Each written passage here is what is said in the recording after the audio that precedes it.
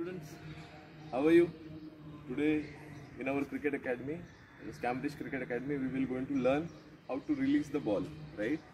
Whether you are a spinner, whether you are a faster, right? Faster bowler or spinner bowler, the most important part is releasing the ball. But we are missing one point here.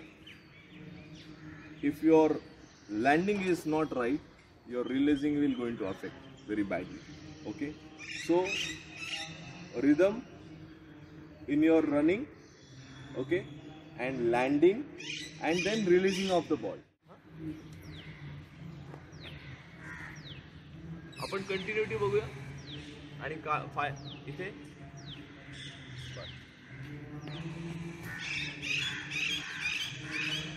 this is your landing position now we will going to complete the ball right yes Now the follow through is come into the picture so dear student right how to hold the ball and other things we will learn in the next session but right now right when you jump your landing is has to be clear once your landing is done right once your landing is done your body automatically goes forward when your body goes automatically forward आपका पूरा body weight आगे जाके Now, student, we will It show you just like in that, slow okay? motion. pause See, Sagar is uh, having a steady run up, approaching towards the bowling crease, high jump, little bit lean back, and see the landing on heel, releasing of the ball, looking forward, and good follow through. Now, I am showing you again a high jump. This jump is very, very important for the fast bowler. Now, see landing on heel, releasing of the ball, and follow through.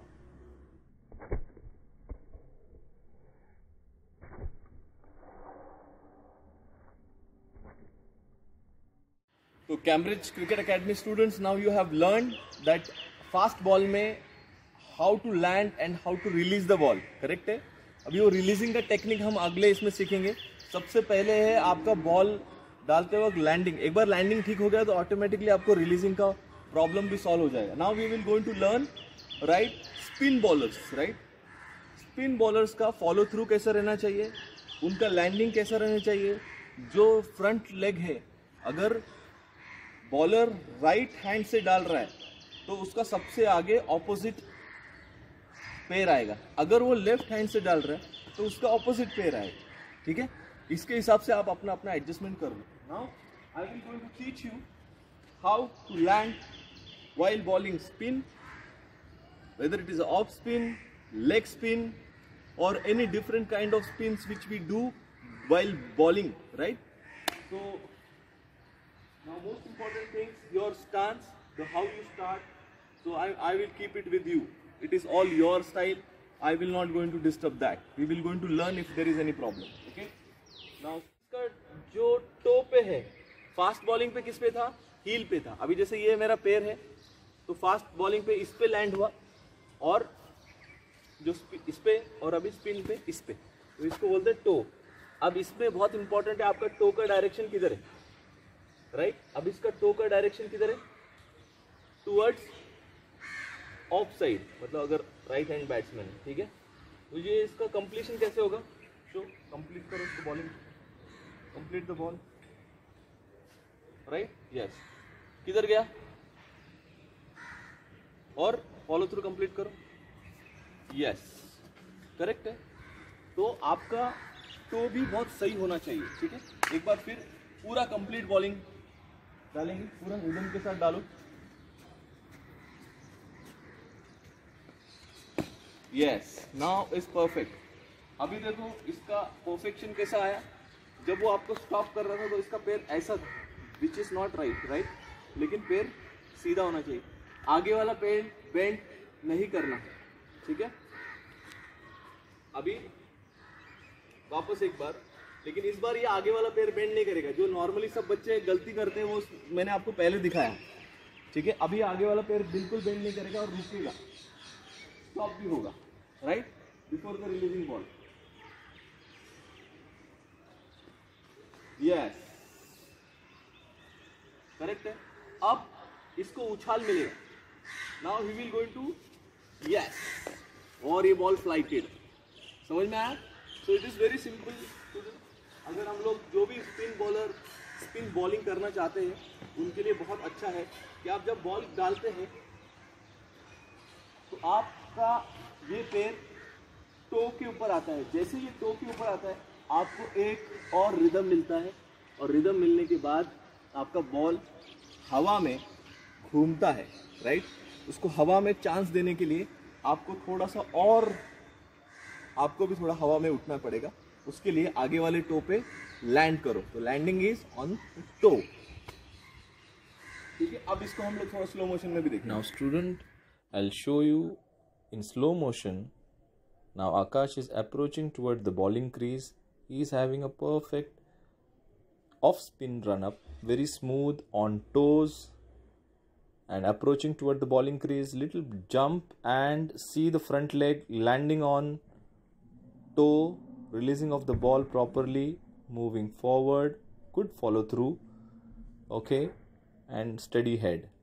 Now I will show you once again because spin bowling is very very important it is really very depends on how you approach towards the ball uh, bowling crease now see are different kind of approach style and very smooth run up approaching toward the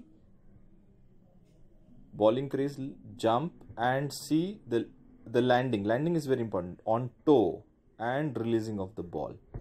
Now in this case i'm moving little bit forward in terms of follow through okay. Now in next round i will show you a smooth run up that's very important for any spin bowler. Now see little high jump and look at the landing and releasing point as well. Yes the releasing point. And now one step two step and ready for the ball. Yes that's it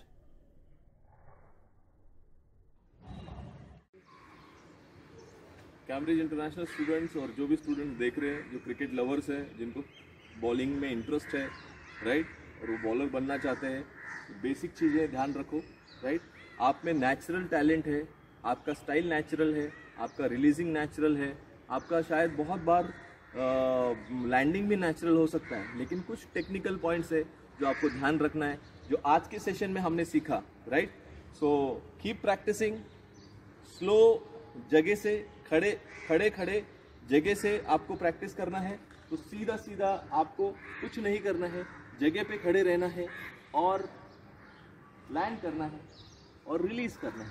बस, वापस वापस reverse जाना है पैर रखना है release करना है। ठीक है? आपके पास दीवार है, आपके पास दीवार है, जैसे ये दीवार है, यहाँ पर एक आपको दिखाई दे रहा है।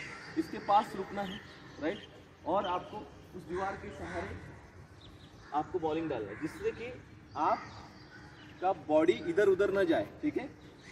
सो दैट आपको वो बहुत आसानी से रिलीज़ होता है। तो आपको ये ध्यान रखना है कि दीवार आपके राइट साइड में हो और आप सीधा हाथ रखें राइट और फिर पैर ऊपर लेकर जाएँ। लैंडिंग करें। लैंडिंग इंपॉर्टेंट है। देखो, ध्यान रखो। लैंडिंग इंपॉर्टेंट है। और फिर आप इसको रिलीज़ करो और आगे जाओ। सेम थिंग स्पिन के लिए भी इंपॉर्टेंट है। स्पिन के लिए आप प्रैक्टिस करते वक्त आपको ये ध्यान देना है कि आप जब स्पिन का प्रैक्टिस करेंगे, जगह से करो, कुछ प्रॉब्लम नहीं, एक पैर आगे डालो राइट और फिर दूसरा पैर जब डालेंगे तो उसको टो पे रखो। टो पे रखा और फिर आप रिलीज़ करो। ओके आप रिलीज़ करो, जब आपका ये रिलीजिंग प्रैक्टिस होगा तो अच्छा होगा। एक बार फिर दिखाता हूँ। ये, ठीक है? इस तरह से सीखेंगे। Right?